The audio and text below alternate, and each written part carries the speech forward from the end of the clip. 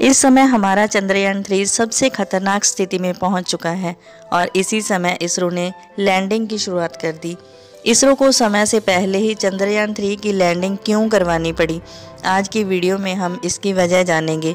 जिस जगह पर इस समय चंद्रयान मौजूद है, वैज्ञानिक इस जगह को सुसाइड पॉइंट क्यों कहते हैं, जैसे आतंकवाद का गढ़ क्यों कहते हैं, क्योंकि चाँद की ये जगह सबसे खतरनाक है। किसी भी स्पेसक्राफ्ट की लैंडिंग के समय ये चरण काफ़ी खतरनाक होता है। इस समय इसरो के वैज्ञानिक लगातार चंद्रयान थ्री पर अपनी नज़रें जमाए हुए हैं, क्योंकि रूस के लूना 25 लॉन्च की खबर के बाद इसरो अपना प्लान बी शुरू करने वाला है। इस समय इसरो को सबसे कठिन पड़ाव पार करना है। अब चंद्रयान थ्री को चाँद से 800 किलोमीटर की ऊंचाई से वर्टिकल लैंडिंग करवाई जाएगी। पहले यही वर्टिकल लैंडिंग 100 किलोमीटर की ऊंचाई से करवाई जानी थी।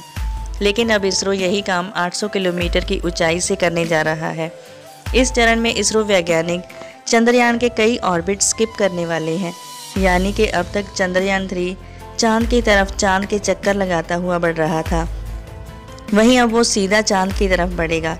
इस समय रूस का लूना 25 भी चंद्रयान थ्री को इस स्पेस रेस में टक्कर देने जा रहा है, और इसकी 23 अगस्त को चाँद की सतह पर लैंडिंग की प्लानिंग है।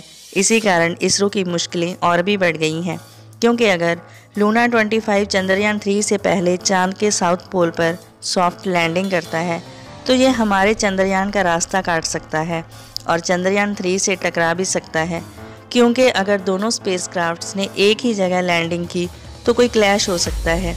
इसी वजह से इसरो ने समय से पहले लैंडिंग करने के लिए प्लान बी बनाया है। अब इसरो ने प्लान बी में पहले से कुछ चेंजेस किए हैं, जिसमें इसरो ने तीन ऑर्बिट्स छोड़ दिए हैं। चंद्रयान तीन अब तीन ऑर्बिट्स में चक्कर नहीं लगाएगा। इन ऑर्बिट्स में चक्कर लगाने में चंद्रयान को तीन से चार दिन लगने वाले थे।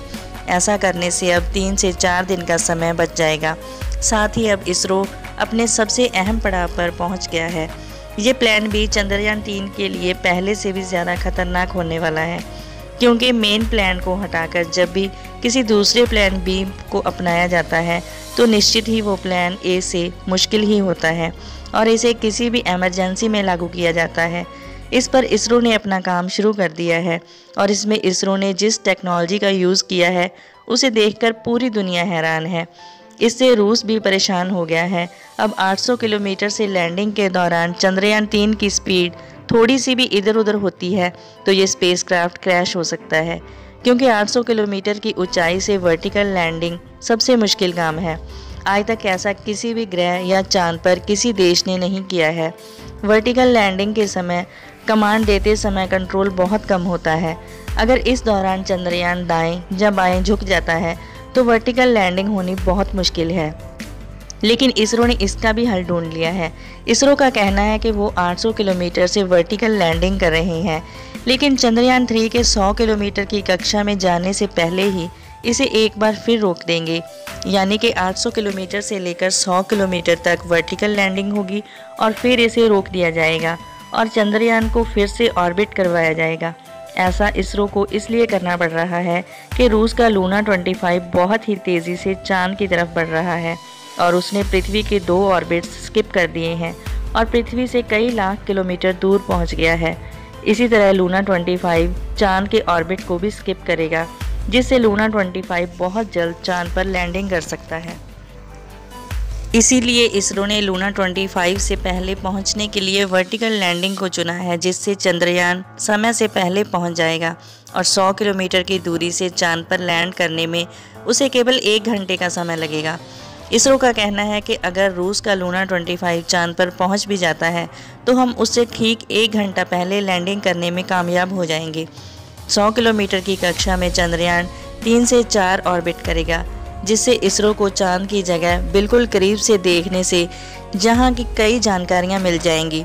इसलिए यहाँ पर तीन से चार ऑर्बिट किए जाएँगे। अगर लूना 25 अपने तय समय से पहले लैंडिंग की कोशिश करता है तो इसरो चंद्रयान थ्री को भी 100 किलोमीटर की कक्षा से भी वर्टिकल लैंडिंग करवाएगी।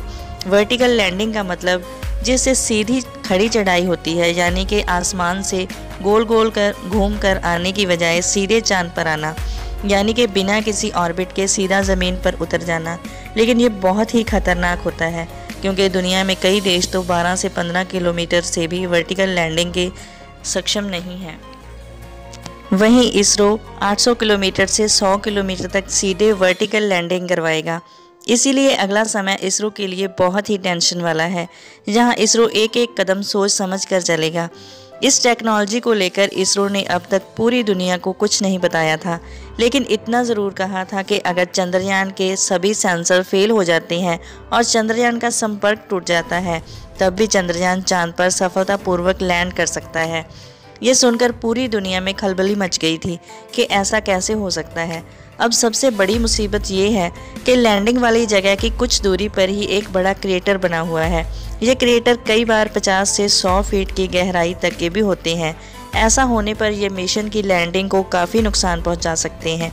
अब इसरो का कहना है कि अगर लूना 25 चंद्रयान से पहले लैंडिंग की कोशिश करता है तो वो इससे पहले ही चंद्रयान थ्री की लैंडिंग करवा देंगे।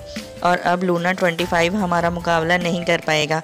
तो क्या आप भी यही सोचते हैं कि चाँद के साउथ पोल पर सबसे पहले उतरकर इसरो और भारत पूरी दुनिया में अपना डंका बजाएँ। तो कमेंट बॉक्स में लिखकर ज़रूर बताइएगा। वीडियो में दी जानकारी अच्छी लगी हो तो वीडियो को लाइक शेयर और चैनल को सब्सक्राइब करें। धन्यवाद।